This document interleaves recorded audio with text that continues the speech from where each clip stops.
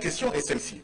Dans un des rapports, il est mentionné qu'il y a 16 939 428, je crois, millions de dollars que des donateurs ont donné à la CDAO pour des infrastructures routières. Ma question est, qui sont ces donateurs? Mon deuxième propos est celui-ci. Peut-être que nous, CDAO, nous regardons le monde, l'Afrique et nos propres pays avec les yeux de nos donateurs. Certains se posent la question, pourquoi cette route va jusqu'au Cameroun? Peut-être que c'est l'intérêt des donateurs et pas l'intérêt de la CDAO.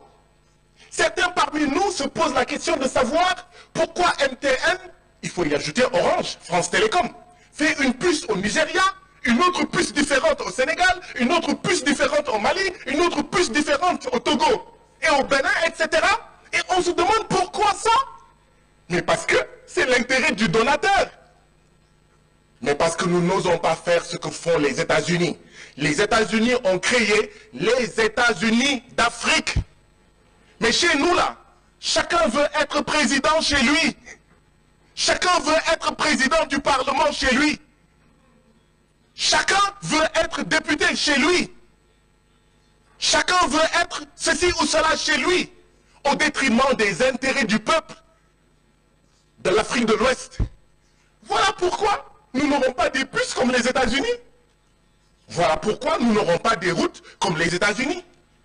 Parce que nous regardons le monde avec les yeux de nos donateurs. Et quand on lit ces rapports, on a l'impression de lire les rapports du FMI et de la Banque mondiale, les rapports de nos donateurs qui nous parlent de taux de croissance, de déficit, de machin, de trucs, au lieu de regarder le monde et l'Afrique avec nos yeux d'Africains de l'Ouest. Et c'est quoi regarder nos taux de croissance, taux de croissance? Une croissance extravertie qui est mangée en dehors de l'Afrique. C'est pour ça qu'on nous annonce que nous avons 49 millions de citoyens qui vont être menacés de soudure. Ils n'auront pas à manger. 16 millions d'enfants de moins de 5 ans. Ce pas nos enfants. Ce ne sont pas nos enfants.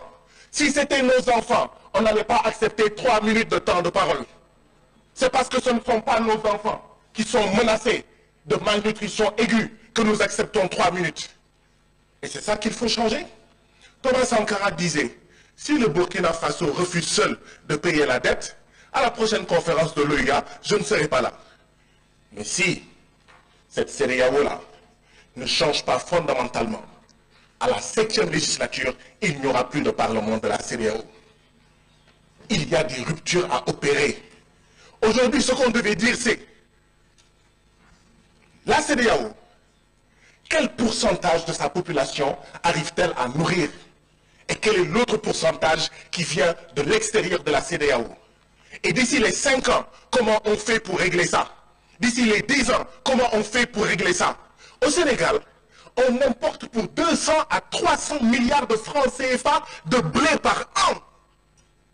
Combien au Mali? Combien au Togo? Combien en Gambie? Combien en Guinée et au Cap-Vert?